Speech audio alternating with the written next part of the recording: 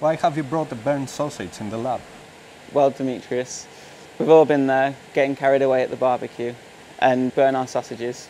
Although you may be a bad cook, uh, you may actually be a great chemist. A great chemist? Yeah. How on earth I can be a great chemist by burning my sausages? Well, the thing is, you might have created a new carbon material. The carbon material is a material comprised exclusively of carbon atoms. Yeah. Interestingly, though, depending on how the carbon atoms are bonded, this gives rise to various different structures uh, which have various different properties. So, can you give me some examples of these carbon materials? Well, one of the most well-known carbon materials is diamond. Okay, and another example is that from the barbecue earlier is charcoal. Okay. Okay, but some more interesting carbon materials are graphitic materials. So if we take this graphite block, this book here, imagine this is graphite, consists of multiple layers of stacked graphene sheets. So, what is graphene? Well, graphene, be, being a single layer of the graphite structure, consists of carbon atoms that are interconnected in a hexagonal lattice structure. Okay. Okay. Interestingly, though, these two materials, graphene and graphite, have significantly different properties. Whereas graphene is strong in almost in every direction, mm-hmm. Uh, graphite may be strong in this direction, but because it consists of the stacked layers, as you can see, it can be broken apart and it's quite brittle in this direction. Okay. Interestingly, though, graphene is known as the mother of all graphitic materials. Uh, and from this one graphene sheet, you can, for example, wrap it or roll it up to form a carbon nanotube, which again has different properties.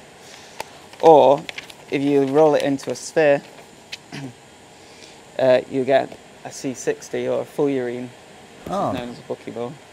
If you imagine these intersections are carbon atoms, and it consists of 60 carbon atoms, this structure of this ball is identical to that of a fullerene. So the 2010 Nobel Prize in Physics was awarded to Andrei Geim and Konstantin Novoselov for the isolation of a single layer of graphene using the Scotch tape method. And what this method involves?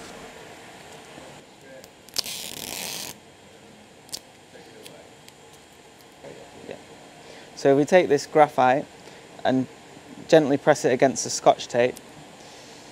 You can see that as we remove the graphite from the Scotch tape, some of the graphite has been isolated and transferred onto the Scotch tape.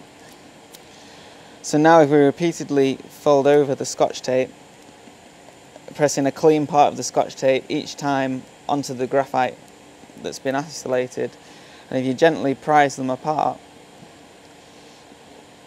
you can see that each time the graphite flakes get transferred and effectively splitting these up into smaller sizes of graphite flakes. So eventually you'll end up with a single layer of graphene which you can then transfer to a silicon wafer and locate using a microscope. So did you know that graphene has some fascinating properties? Graphene is a two-dimensional one-atom thin crystal. So it is the thinnest and lightest material known to man. It's also one of the strongest and most flexible, yet is non-flammable, transparent and highly conductive. So, what are all these properties useful for? Well, one of the most promising properties of graphene is its use in circuits using its conductivity. So for example here, if I take a, an ordinary pen, you can see that this is not conductive. There's no current flow between the two parts. However, if I do exactly the same using a graphite pencil, so we're depositing graphene layers as we write, and we go from one point here to another point here, you can see that in this case, it's conductive and a current flows between the two. That's true. Can you give me some more examples? One great example is a combination of graphene's transparency and great conductivity in the creation of a solar cell. So, what is a solar cell? Well, a solar cell is basically a converter, converts light energy into electrons or electricity. Smaller solar cells produce tiny amounts of electricity, just enough to power a small light uh, or a calculator, whereas larger arrays of solar cells are used in Earth orbiting satellites or in the home to generate electricity.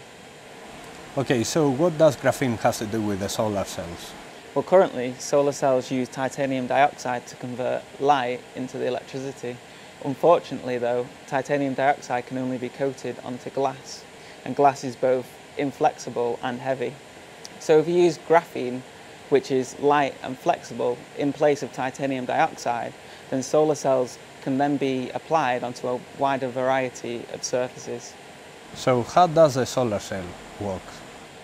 Well, in a solar cell, you have two glass plates acting as electrodes, and these are conductive. In the case of a graphene solar cell, the graphene coated on top of the glass plate has a dye on top of it, which when light passes through the glass, this excites the dye molecules, and then electrons travel from this to the graphene through an external circuit to a cathode. And the circuit is completed by the use of an iodide electrolyte. So I'll now show you how to make your own solar cell. But unfortunately, we have to use titanium dioxide rather than graphene because at the present time it's not possible to coat a single layer of graphene covering the whole surface of this glass plate. So here we have two conductive glass plates. The first step is to coat the anode material with titanium dioxide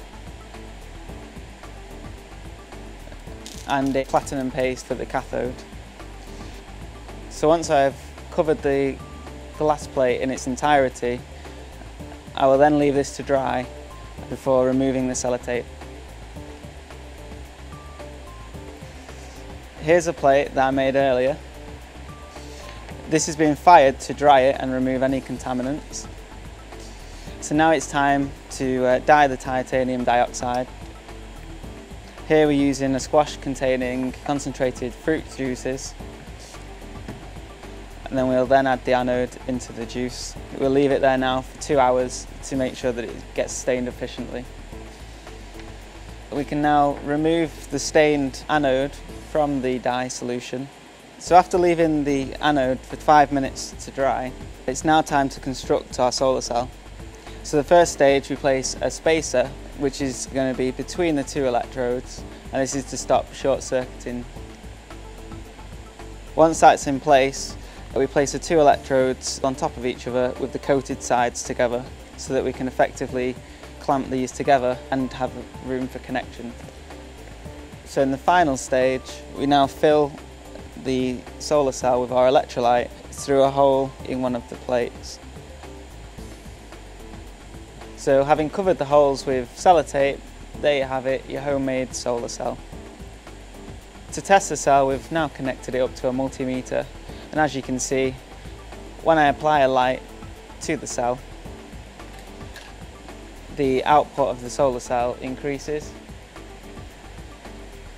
And then again, when I turn the light off, the output drops.